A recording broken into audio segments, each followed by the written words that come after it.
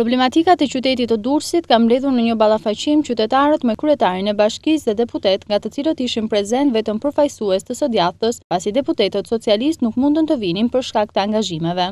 Një nga problematikat që ngjalli debat të ashpër midis politikanëve ishte sjellja e arsenalit të armëve kimike siriane në Shqipëri. Kryebashkiaku Dako dhe dy deputetët demokratë u shprehën kundër këtij procesi. Të gjithë jemi kundra, se pro jetë të fortë të paqes. Një dukë siguri.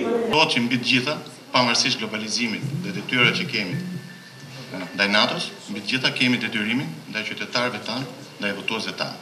I bashkngjitem kësaj proteste për t'i thënë jo demontimit të armëve, jo si politikan, po thashë mbi të gjitha si qytetar i Durrësit.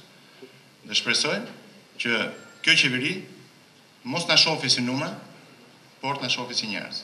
Unë jam qytetar i këtij qyteti dhe sigurisht edhe unë kam dhënë pozicionimin tim publikisht, haptazi dhe me forcë kundër importimit të armëve kimike dhe shkatërrimit të tyre në territorin e Shqipërisë.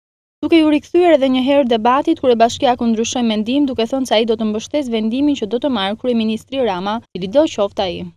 Vendimi i qeverisë shqiptare do të jetë në mbrojtje të interesave të qytetarëve shqiptarë dhe unë jam në përkrahje të plotë të vendimit që do të marrë kryeministri dhe qeveria shqiptare. Debati për armët kimike është kthyer në temën më të nxehtë të këtyre ditëve të fundit.